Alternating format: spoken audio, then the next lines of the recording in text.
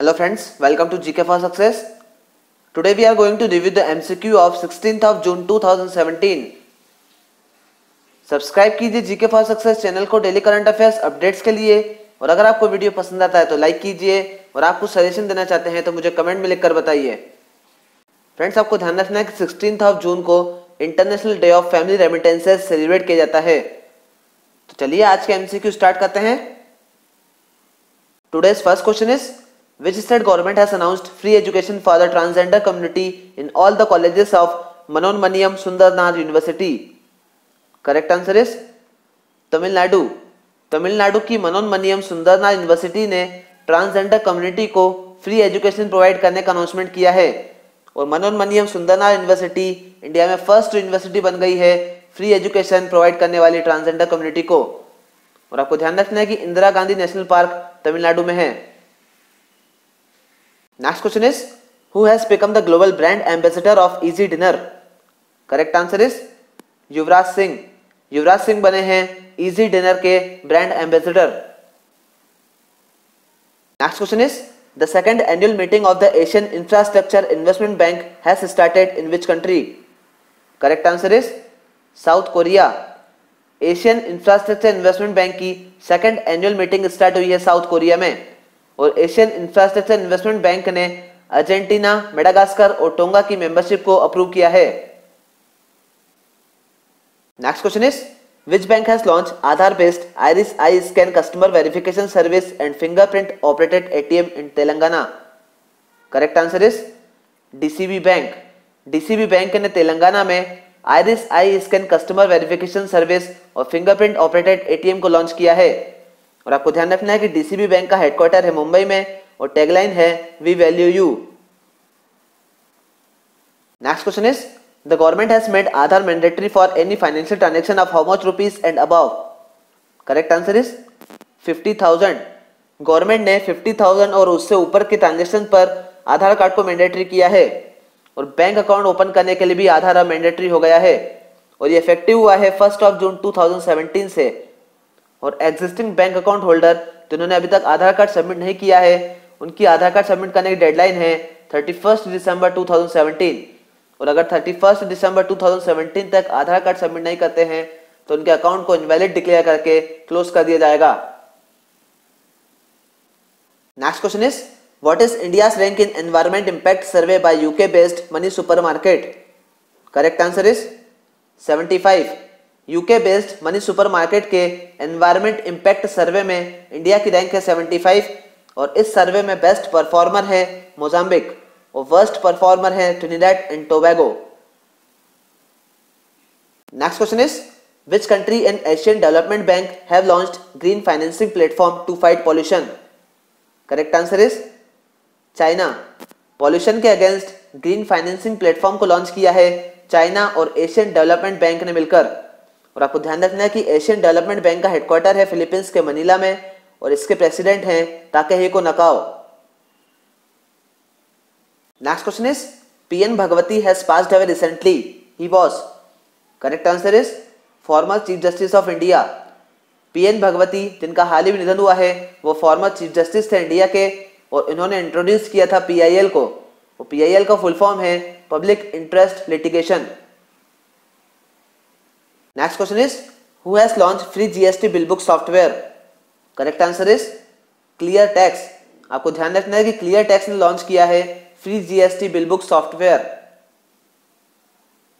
next question is the shipping corporation of India in collaboration with ministry of shipping has organised सबका साथ सबका विकास सम्मेलन in which city correct answer is Mumbai shipping corporation of India ने ministry of shipping के साथ मिलकर सबका साथ, सबका विकास सम्मेलन को ऑर्गेनाइज किया है मुंबई में।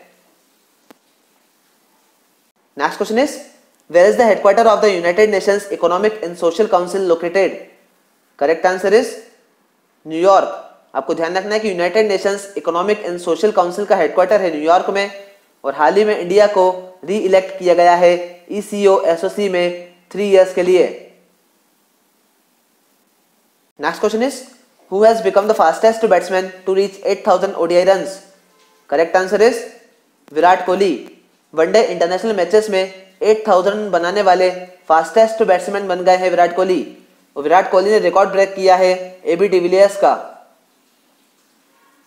Next question is which company has topped in Asia 300 rankings of various companies correct answer is Largan Precision Largan Precision ने एशिया 300 रैंकिंग्स में टॉप किया है।